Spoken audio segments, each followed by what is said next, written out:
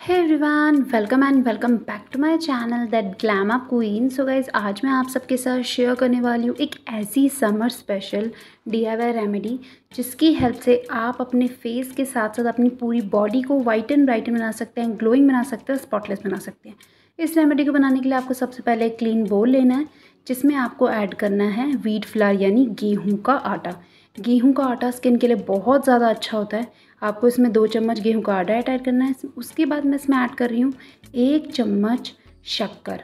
आप इसमें चीनी पाउडर भी ले सकते हैं। चीनी को पीस कर घर में इजीली इसका पाउडर ले सकते हैं। उसके बाद मैं इसमें ऐड कर रही हूँ हल्दी यानी टर्मरिक। एक चौथाई चम्मच मैं यहाँ पर हल्दी पाउडर ऐड कर रही हूँ। हल्दी में एंटीसेप्टिक एंटी बैक्टीरियल प्रॉपर्टीज़ होती है, जिससे दाग धब्बे झाइयाँ दूर होती हैं। उसके बाद अगली चीज़ जो मैं इसमें ऐड कर रही हूँ, वो है हनी यानी शहद। शहद आपकी स्किन से टैनिंग को रिमूव करेगा स्किन को सॉफ्ट स्मूथ बनाएगा और दाग धब्बे भी दूर करेगा।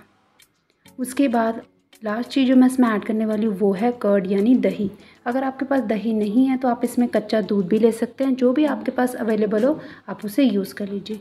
इससे आपकी स्किन सॉफ्ट स्मूथ होगी।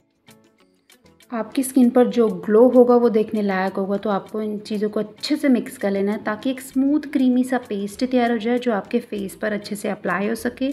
बहुत अच्छे से मिक्स कर लेना है और ये आपके फेस के साथ साथ आपकी पूरी बॉडी को वाइट एंड ब्राइटन बनाएगा ग्लोइंग बनाएगा और स्पॉटलेस बनाएगा। तो अब हमारा डी आई रेमेडी एकदम रेडी हो चुकी है। आप देख सकते हैं इसकी कंसिस्टेंसी ना ज़्यादा थिक होनी चाहिए और ना ज़्यादा रनी होनी चाहिए, जो आपके फेस पर अच्छे से अप्लाई हो सके। तो इसको अप्लाई करने से पहले आपको अपने फेस को अच्छे से वॉश कर लेना है ताकि आपके फेस पे जो भी डस्ट है डर्ट है रिमूव हो जाए। उसके बाद आपको स्मूथली मसाज करते हुए इसे अपने फेस पर अच्छे से अप्लाई कर लेना है। बहुत ही स्मूथली मसाज करनी है। ज़ोर ज़ोर से अपने फेस को बिल्कुल नहीं रगड़ना है।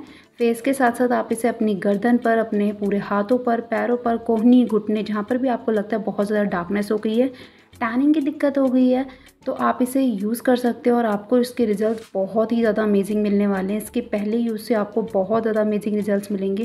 तीन से चार मिनट तक अच्छे से अपने फेस की मसाज करनी है। उसके बाद जब ये पैक सूख जाए, तब आपको नॉर्मल वाटर से अपने फेस को अच्छे से वॉश कर लेना है।